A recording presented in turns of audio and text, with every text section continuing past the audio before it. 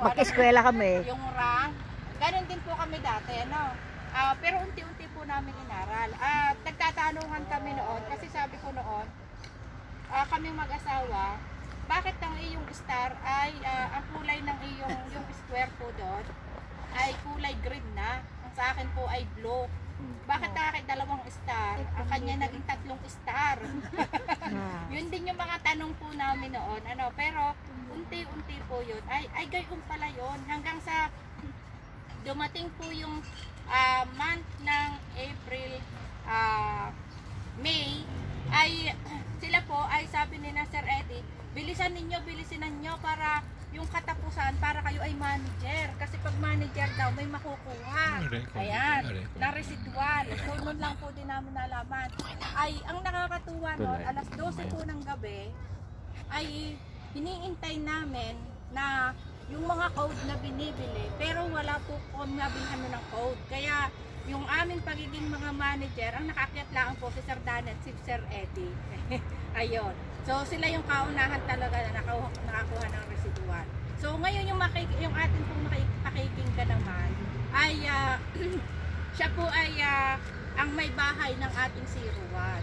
Ayan. So, ikikwento po niya sa atin, ano, bakit po ba, ah, paano ba sila nagkatulungan ni Sir Eddie? Ano, kaya nga po sinasabi ko kanina, ay salamat po sa mga mag-asawahan na talagang narito at nagkakaintindihan. Ano po? So, ah, paano ba sila nagkatulungan dito kay Crowd One? Paano ba nila ginawa pinagtulungan? At ah, unti-unti ay ah, narating din niya yung ah, Director 1 star, Director 2 star, going to Director 3 star. Ano, so siya na po yung magkwento. Tawagin po natin natin Director 1 star, Ma'am Marisa Onyo. Good morning po sa ating lahat. Ako po si Marisa Onya, Director One Star nga po. Ah, ako po yung kahuli-huliang nalaglag na director sa Team Europe.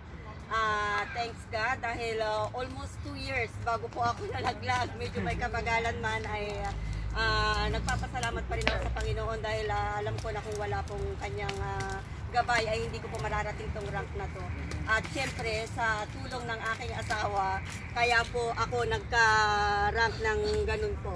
Um, yun nga po, ah, hindi rin ako ganun ka ano nun sa sa sa rank dahil nga po nung kasagsagan ng kitaan ng crowd one, ah, ang asawa ko yung ano yung nakatutok lang talaga dito sa business natin. Kaya ito nga at ito nga po yung ikinaganda ng ating business dahil hindi po tayo nag-iisa. So kailangan lang natin gawin ng tama at i-support natin yung ating mga asawa at doon po mas mabali, mabilis po yung ramp up dahil ika nga ay ah, two heads are better than one at yung ah, yun nga pagka nag, nag, pinagsama po yung income ng mag-asawa mas marami po tayong mga maa-avail na product and services natin na pwede pong magpa-rank up sa atin. Ah, nung una po nung ah, nung i, i- binaba po ang ah, cargo drops natin Ah, ang asawa ko nun, ang balak lang po niyang kunin noong una ay dalawa.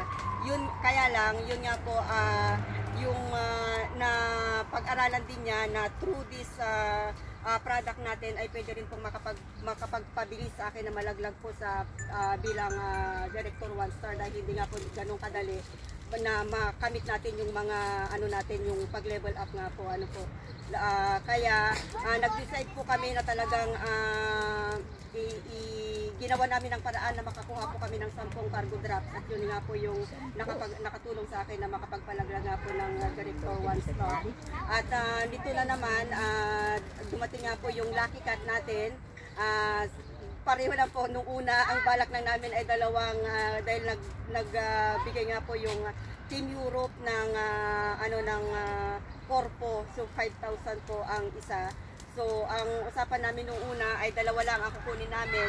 Pero napagsipsip po namin na di ho ba pag nagbaba ng ang crowd one ng mga services na ganito ay ma, ma- may maganda pong impact noon pagdating ng panahon. Hindi pa man natin alam eh kailangan na nating sumabay dahil nga pag napag-iwanan tayo ay sayang naman yung ah, yung mga yung chance na na pwedeng ah, nating kitaan dito sa ating services. So, ah ginawa po natin ng makaraan para makakuha din po kami ng isang ng isang buong ah, Lucky Cat. Kaya ah, yun po Ah, dito po sa business natin, kailangan lang talaga nating uh, magsuportahang mag-asawa dahil kung against po ang isa ay hindi po ganun kadali. Kaya kailangan nating suportahan ng ating mga asawa lalo kung alam naman natin na ang ating mga asawa ay talaga namang ginagawa para magkaroon po tayo ng mas magandang kinabukasan. Dahil ang asawa ko po, o kung hindi po lingid sa inyong, alam ko po hindi lingid sa inyong mga kalaman, 25 years na po siyang uh, nag, nag uh,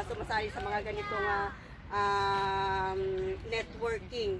Kaya yun po, uh, hindi ganun kadali, pero kung talagang pagtatrabahuhan natin ay madali po nating makakamit yung ating mga mithiin na uh, kailangan nating i-support yung isa't isa para magkaroon po tayo ng mas magandang future po sa mga ganitong uh, business na networking nga po.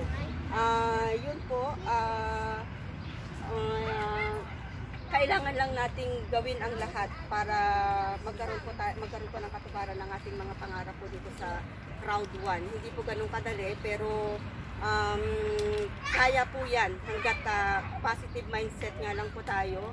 Dahil yun nga um, meron po kaming nasa, na pakinggan na isang uh, um, business economics nga po sa church din namin na kailangan daw wag tayong mag-focus sa mga trabaho natin ngayon dahil isipin din natin, i-consider natin 30 years to 40 years from now. Paano kaya tayo? Kung hindi wala po tayong mga na, na mga pwede nating pagkakitaan by that time, hindi na natin kayang gawin yung mga ginagawa natin mga trabaho ngayon na namamasukan tayo uh, 30 years from now, uh, ilang taon na po tayo, hindi na po natin kayang gawin yung mga yung mga ganon kaya kailangan natin i-invest yung mga pina, na, yung mga kita natin ngayon para at least meron na po tayong mga naipundar na pwede nating magbigay po sa atin ng source of income pagdating ng mga time na hindi na po natin kaya magtrabaho. Ah, uh, yun lang po. Uh, ang asawa ko naman ang magbibigay po ng Sabay pasa, ayan. Ayaw. Tama naman. Gokisa. Ay, uh, dahil ako po ay naranasan po 24 years na nag, uh, nag-abroad, uh, 24 years old, umalis ng Pilipinas. At yung nanay ko po ay 29 years na nasa abroad. Since ako po ay grade, grade 2, OFW na po yung aking ina. So, masakit nang isipin, ano, dahil yun naman po para sa amin din. Pero hindi ko po naranasan yung sabi nga, may kapulos ng isang ina. Bakit po? Kasi ang nanay ko pilating malayo. So, tama naman po yung sinabi ko. Nag-video. Dahil ah, sabi nga ay, ang trabaho natin ngayon, hindi po natin alam kung hanggang saan tayo malakas. Hanggang kailan natin kaya. Pero dapat meron po tayong source of income. So tawagin po natin natin si Juan. So siya po yung uh, tumuklas ng kumpanya na ito. At lahat ng mga promotion siya po yung tumuklas. Ano? At siya po yung matyaga laging nagtuturo din sa atin. Ayan. So bakit po natin natututunan yung, uh, yung mga bagay-bagay? Dahil uh, napakasipag. Sabi nga namin mag-asawa, saludo kami sa kanyang sipag. Ano? Ay nagkakanda, kilo na. webinar pa rin. Ano? Ay bagsak na webinar pa rin. Pero yun po yung talagang sabi niya, kapag ikaw ay isang leader, talagang uh, dapat ikaw ay gagampanan mo yung tungkulin mo para mag para ikaw ay makabuild ng isang magandang team.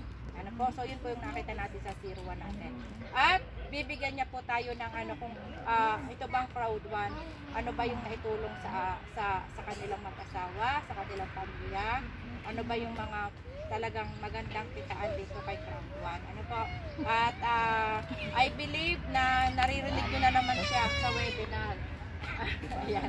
At uh, marami siyang mga ginagawa, ano, at yun po yung ituturo niya sa atin. So, pakinggan po natin, our 01, Director 2 Star, going to Director 3, yan. Sir Eddie Onya. Yeah. ano pa bang sasabihin ko? Nasabi na yata lahat eh. So sa akin po ay motivation na lang po sa ating lahat. Ano, first time namin nakarating dito sa Como. Ano, although dati ay lagi ako dito kasi yung trabaho ko po ay impresa di polizia. Ano ho? Ikot ko po ang buong uh, dito sa Sud, North. Ano ba itong sa atin? North ba ito? Dahil um, ako ay Jolly. Ako po ay nagtrabaho ng uh, 10 years sa Tribunale di Italia dun sa Milan. Ano, kaya doon sa empresa namin, minsan ay papadala kami dito sa ah, dito sa Tribunal del Como, Agencia del Entrata, hawak din namin. Kaya ikot ko po itong buong ah, Bergamo, Como, ah, Sondrio, nakakarating na kami, layo na po ng Sondrio, pagitan na po yun ng, ng Switzerland tsaka ano. So, ngayon ay um, bakit ko hindi isinasantabi ang pag pagninetwork Montalban? Kasi um, doon sa pag-aaral namin ng financial literacy o biblical economics, kung mapapansin niyo po si Henry C, di ba si Henry C yung dating pinakamayaman na Chinese Filipino sa atin, di ba? May-ari ng SMBDO, tsaka ang dami niyang pag-aari, di ba? Siya ay nagsimula lamang po sa sa mababang uri. Na, ano, nagtatinda lang po siya ng sapatos dati. Di ba? Yung dati din ng sapatos. Pero ang ginawa niya, um, ang ginawa niya nung umaasenso na siya, in-apply niya po yung tinatawag na law of leverage. Ano po ba yung law of leverage? Pinarami niya yung kanyang sarili. Kasi ang dami na pong SM, ang dami ng BDO. Hindi naman niya kayang trabawin siya lahat magtatrabaho dun sa mga yon. Ang ginawa niya, nag-train siya siyempre ng mga tao. Ganon din po yung ating negosyo. Kailan natin paramin yung sarili natin. Kung nakita na po natin yung negosyong ito ay napakaganda dahil subok na po, naranasan na po namin mabago yung buhay namin. Imagine nyo po, ako po ay nag-abroad, 22 years old lang po ako sa Korea. 5 years po ako sa Korea, ano. At that time, iniwanan ko po yung asawa ko buntis. Buntis sa aming panganay.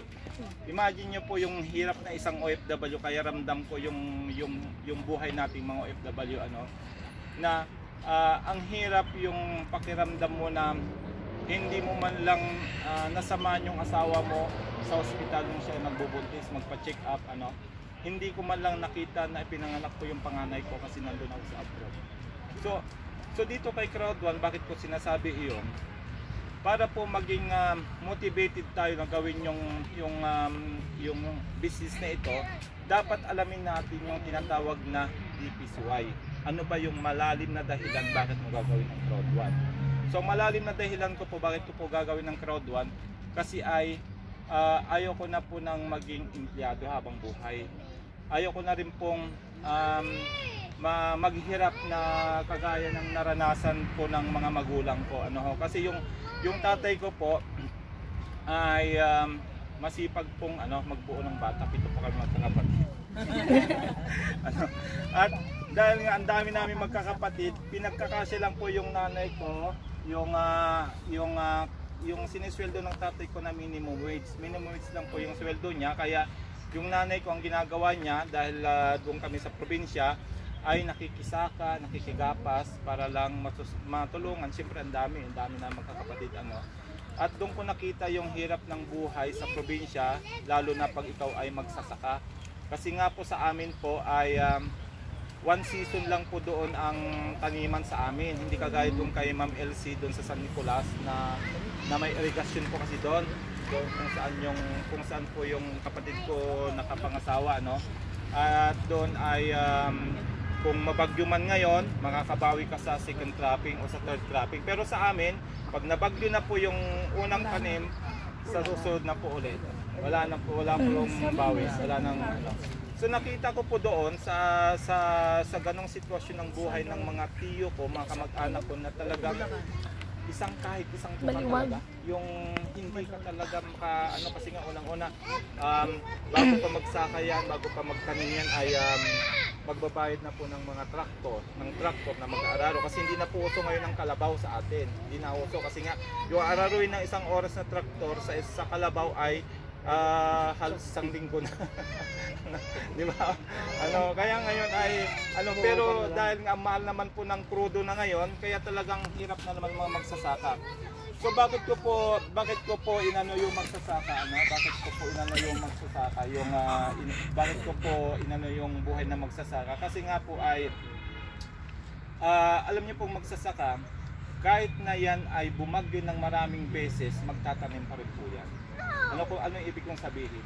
Kami po sa dami ko na pong sinalian na networking, 25 years na po ako nagne-networking ano, at halos ah, mahigit kalahati ng buhay ko ay naghahanap na ako ng isang opportunity na pwede talaga magpabago ng buhay ko kasi nakakapagod din magtrabaho. Alam niyo po nung tatrabaho ko sa tribunale, ano yan, ang haba. Minsan, ah, aalis ako ng madaling araw, tulog ko kasi malit pa dati yan, ano.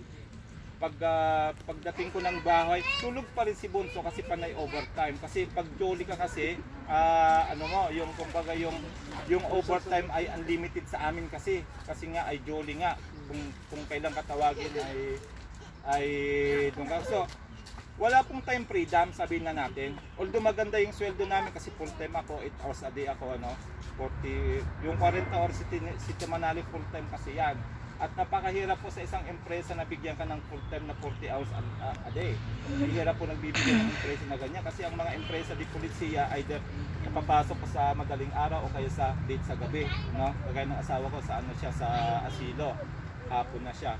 So, doon ko nakita na ah, kailan pa kaya tayo makakaranas naman ng maginhawang buhay? Yung bang nasa Europe na tayo pero nandun lang tayo sa comfort zone natin na bahay, trabaho, bahay, trabaho. Hindi man lang natin mapuntahan yung mga magagandang lugar sa Europe. Di ba? Ang, gandang, ang daming magagandang lugar.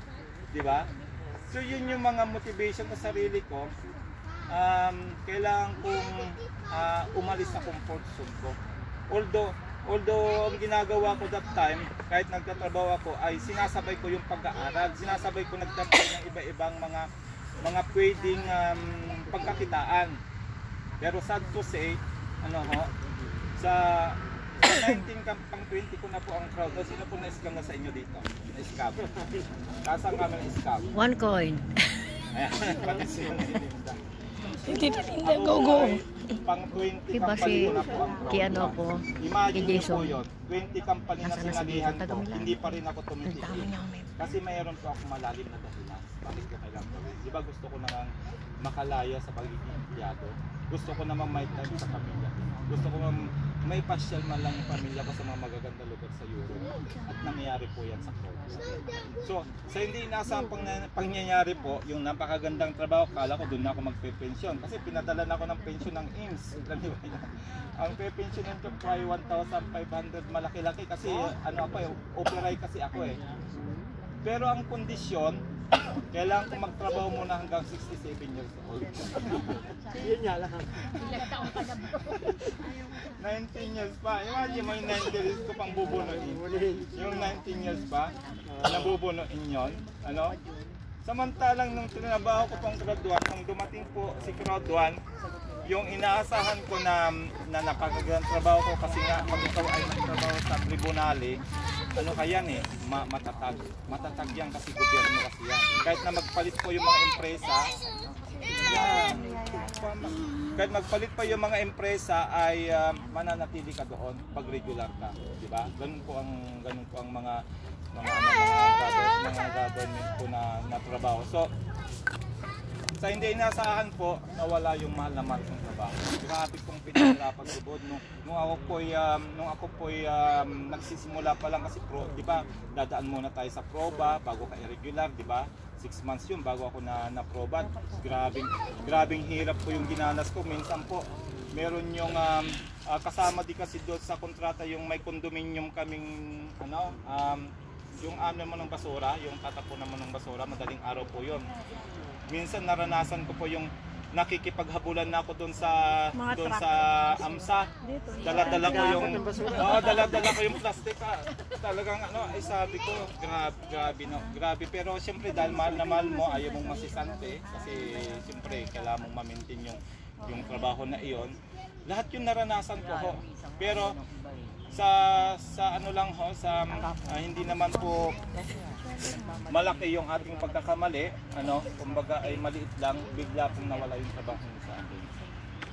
Tapos dumating pang pandemic. Wala pa akong trabaho. Pandemic. Kaya bilang padre di pamilya, anong gagawin mo sa iyong pamilya? Ang upa po sa amin binabayaran upa ng bahay 800 euro. Upa pa lang po yun. Di ba? Sweldo na po ng isa o yun. Wala pa doon ang kuryente, wala pa doon ang, ang gas, wala pa doon ang space sa kondominyale, may basura pa po yun. Di, di ba? Kaya sabi ko, isang napakalaking blessing po ang crowd one na dumating during the pandemic. Pero hindi ko sinasabi na lahat ay blessing yung pandemic kasi nga naging pasakit ang pandemic sa lahat po talaga ng tao sa buong mundo. Pero sa aming kabaliktaran, isang malaking biyaya. Bakit ko nasabi? Doon kami blinis ni Lord. Imagine nyo that, ano? Nung sumali po kami dito ay um, 6,000 pesos lang po yung pinuhunan namin that time, 99 euro. Sino po mag-aakala yung 6,000 na yan? Nung naaral ko na po, naaral ko na, sinare ko sa mga kaibigan ko, Siyempre sila, wala na rin eh, wala na rin mga trabaho. Di ba napakinggan din si Pastora kanina, nagbenta na ng face mask para may pansali. ano, di ba? Nakita nyo, kanya-kanyang paraan na eh. Oh. Kaya ang nangyari po ay yung 6,000 pesos na yan, nung naintindihan ko na po yung sistema, tapos sinare ko sa kanila, eh sila din ay talagang naghahanap din ng opportunity. Wala namang hindi naghahanap ng opportunity, di ba? Hindi ka na makalabas ng bahay. Ang, ang tanging opportunity lang that time ay online business. Online. Nasa bahay tayo na pwedeng kumita, di ba? So napapanahon po yung negosyo natin. Kasi nga 100% mobile business siya, basta meron kang an- Android phone, meron kang internet, pwede mo nang gawin yung negosyo mo, hindi lang sa Italia, kundi sa buong, buong mundo. 175 countries nag-ooperate po yan. Ano ho? So, sino po mag-aakala ano na yung 6,000 pesos na yan nung naintindihan ko na po yung negosyo tapos naintindihan na rin nila senior na rin nila sa mga kaibigan yun na po yung sinasabi ko sa inyo na law of leverage na ginawa ni Henry C yung 6,000 ko po sa loob lamang po ng 40 days na-hit ko na po yung aking first million ganun po siya katindi wala pa po akong naranasan ganun. Sa may 25 years na karanasan ko po sa pag-network, ni hindi po ako kumita ng milyon. Yun po yung totoo. Kasi nga karamihan nga sinalihan namin scam. Grabe pong scam pinagdaanan namin nila Ma'am Laika, nila Pastor. Actually si Pastora, siya ay 01 doon sa dating ah, sinalihan namin. Siya yung 01, siya nakatuklas. Tapos si Bro Johnny, siya rin yung 01 din. Siya rin yung nakatuklas. Yung asawa ko rin. Yung asawa niya si Danilo 01 din kung. Puro mga 01 yan. Pero lahat wala pong nangyari. Wala pong nangyari sa mga sinalihan namin. Ubus ang pinaghirapang pera. Ang hirap kaya magkudkod ang inodoro. Di ba? Magkudkod eh. Di ba? Ang, ang pinakamahirap po na talagang baka hindi niyo po masisikmura yung yung ba maglilinis ka ng public toilet sa tribunal na na lahat ng mga ihilo na lahat na ay grabe po yun, hindi niyo po ano yun, kung hindi niyo lang talaga mahal yung trabaho talagang aalisan niyo pag ganun yung trabaho ma mararanasan niyo. Kasi nandun na lahat eh. Pero pero dahil nga ay um, dahil nga po ay siguro ang ang sabi ko na sa sarili ko kaya po ako nawala doon sa trabaho na mahal na mahal ko. Kala ko doon ako magpe-pension. Dahil meron palang way si Lord na para pagpalain ako sa mas magandang opportunity. At yun na nga po si Christ na sino po mag-aakala ngayon na sa dalawang taon na po namin hindi na po ako nag-work. Hindi na po ako nag-work full time na po ako dito. Tapos yung yung mga dati na hindi namin nabibili nabibili na ano? Yung dati na pag umuwi ka ng Pilipinas tricycle lang po yung sasakyan ko. Nakita na po ng mga direktor yan na umuwi sila. Tricycle lang po. Kasi namamasada ako na ako nasa Pilipinas eh habang nag-aantay ng petisyon namamasada akong tricycle. Toda po. Hanggang ngayon toda pa rin tricycle ko. Sino po mag-aakala na yung tricycle na iyan? After na after one year lang po ano one year lang po pala natin last year ano nung umuwi tayo ng Pilipinas. Sino po mag-aakala na yung tricycle na yan magiging SUV po yan Ford Everest Sports model 2021 napakaganda po ng sasakyan noon nasa 1.9 million po ang halaga noon sino mag-aakala po na yung 6,000 na yung makakabili kami ng resort sa Lag- Laguna? Sino mga taga Laguna dito? Meron po kami dinidevelop na resort po sa Laguna sa Galalan Laguna na sunar magiging world class tourist destination kasi magandang lugar siya parang Tagaytay malamig. Tapos meron kaming apat na pispan pastora? Apat? Apat ang pispan doon pwedeng mamingit ang mga turista. Tapos yung sa akin naman nabili 2,200 square meter ginagawa ah, nagpapagawa po ng swimming pool merong artificial falls may jacuzzi. Kaya yun po, pag yun po ay na-develop namin, sigurado yung papasyal ng mga turista. Actually, dinalaw na po yan ng uh, Jessica Soho, pero hindi pa po pinapa ano ni Pastor kasi gusto niya pag yung madalaw ng mga mga mga sabihin na natin yung mga vlogger ay um, maganda na siya. Actually maganda na siya ngayon kasi ang, ang nangyari tinaniman na po ng mga mga bulaklak yung paakyat doon sa sa ginagawang country club ni Pastora. Meron pong hagdan yung pataas na gano'n tapos sa gilid niya puro bulaklak po yan. Ngayon ang ganda na ho. Pero hindi pa namin open sa public. So, yung pong nangyari po sa amin dito sa crowd one ay um, masasabi kong um, impossible is nothing. Totoo po yung ah, slogan natin na impossible is nothing. Sino po mag-aakala nandun sa sa time na walang-wala ka na, walang-wala na kami, walang mga trabaho, pandemic na dito, buong, buong Europa, no? that time ay ah, apektado tayong lahat. Sino mag-aakala na doon darating yung blessing? Na yung blessing na yan ay nagpabago sa buhay naming mga magkakaibigan ano?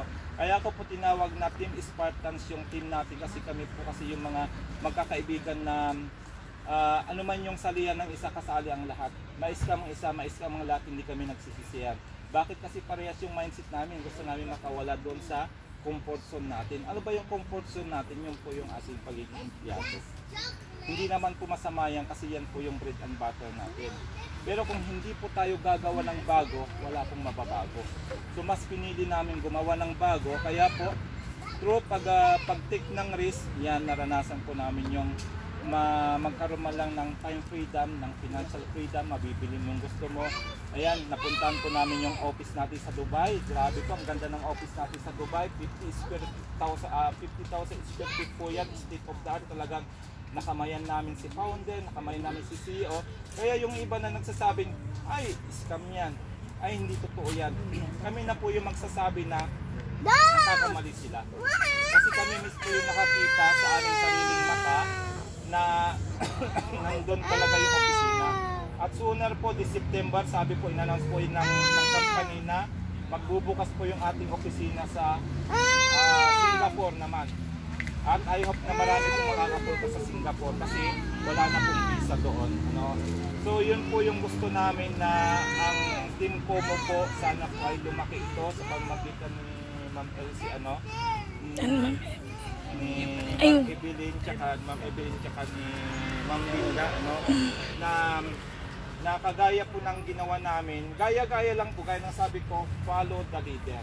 Pag nakikita nyo naman si leader na napaka-active, na talaga namang, kagaya ng sabi ni Ma'am, Ma'am Ray, minsan talagang nahihilo na ako kasi meron yung time na talaga pag yung panay puyat din pala ay meron yung time na talagang nagsusuka ako, nahihilo ako, ano.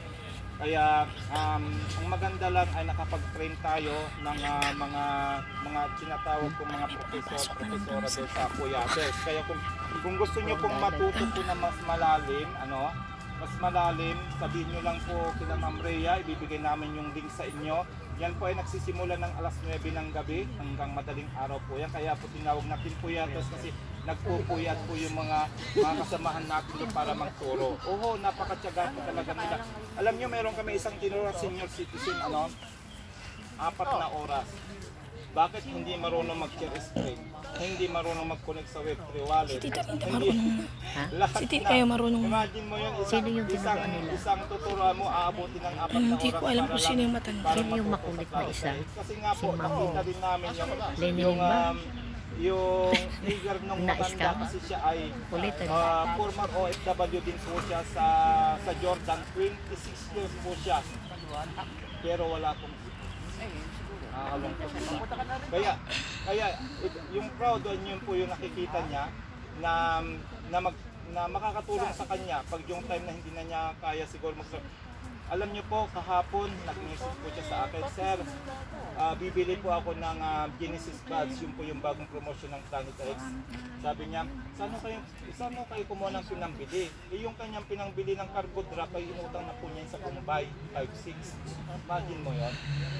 Pero kaya kaya kahapon nagulat ako, hindi lang isa yung bibili niya, kundi dalawa daw. Saan, saan mo kayong kumuha? Tinanong ko na rin kasi alam ko naman wala nga siya ano, umaasa sa maliit na Pero didiretso siya. So ang nangyari pala, bumili siya ng, um, ng saging sa puno, tapos ititinda niya sa palengke. Yung pinagtinda niya, yun po yung binili niya. Kaya hindi po ako naniniwala na ano, discount lang po talaga eh. para-paraan lang, imagine nyo po yun, senior citizen, nagawa niya ng paraan na maka, makabili nung, nung Genesis. Bakit po mahalaga yung Genesis Buds na yun? Kasi yun po ay NFT po yun, non-fungible token, na yun po ay sooner tataas po ang price nun. So, so ngayon, napaliwanag na po namin yung Metaverse, yung ah, yung ah, Mixter, yung Planet eh, yung ah, Planet IX. So, kung hindi pa po kayo nakabili ng Metaverse ano, package, yan po yung magbibigay sa atin ng ah, ah, magandang income. Yan po yung sabi sa amin. Kasi nga, kung kami po ay nababaliw na, sabi na natin nababaliw na sa paglalaro sa Planet IX, dito po sa Metaverse, mas mas grabe po daw ito. Mas malaki pa daw po ito sa sa Planet IX. Kaya po, um, sino pa po hindi nakabili ng gagas? Yan, gawan nyo po ng paraan. Dito. nyo po ng paraan na makaabil kayo ng metaverse kasi nga po ang sabi dyan ay pwede daw tayong kumita kahit tayo mag-invite. Ano, lalaroin lang po natin. Huwag po kayo mag-alala kasi marami pong Bumili ako sa kanya ng Actually po, ah, Sa I'm so cellphone, very di ko mabuksan ang ano, sa Team ang Europe. Planet Bakit? Kasi nga, sa nakikita namin sa sa buong um, Sipan. Filipino community, ang Team Europe po ang advanced Pumunta kayo sa technical. Tayo, ang dami kasing mga ah, nag-aaral, na- nagtuturo pagdating sa sa Planet? X, nandiyan si Ma'am Abby, si Coach Resi, si Sir Orly, si Ma'am Beth.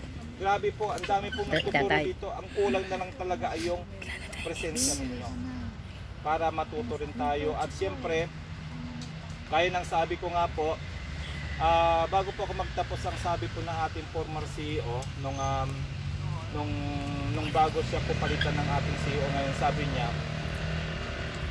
um, this will be the last network na sasalihan niya.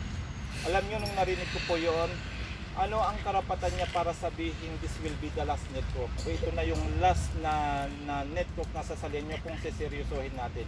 Kasi po siya ay billionaire mo po na po siya. Nakapag-create na po siya ng tatlong unicorn dito sa sa Europe.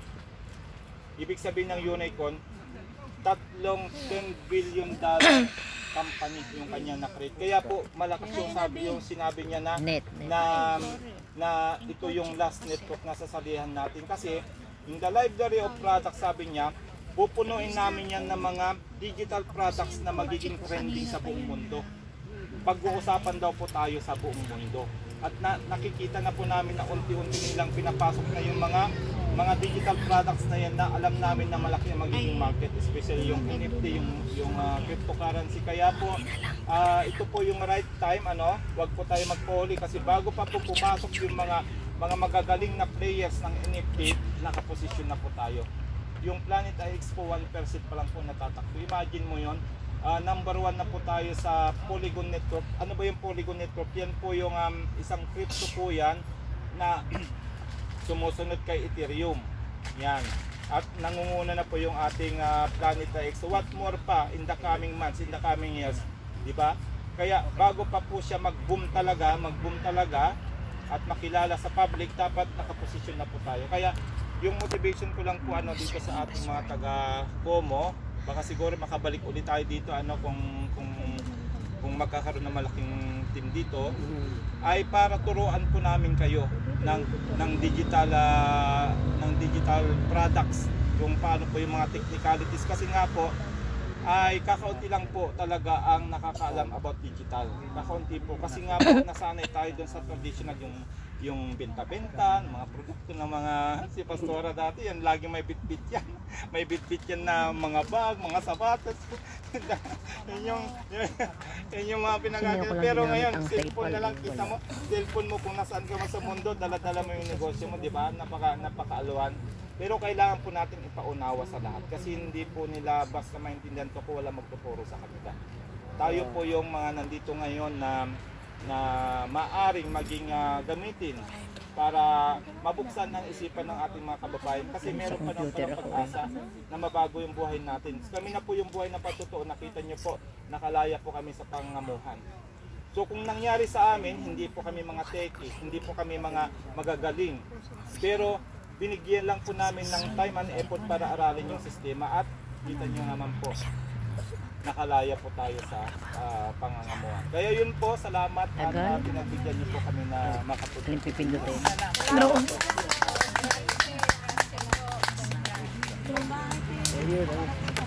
Mamaya na lang ako maapi. Sige. Oo. Eh, magpicturean tayo. Oh, Picturean muna bago muna umalis. tayo. Sir Eddie, Sir Eddie. Yung formal, yung formal.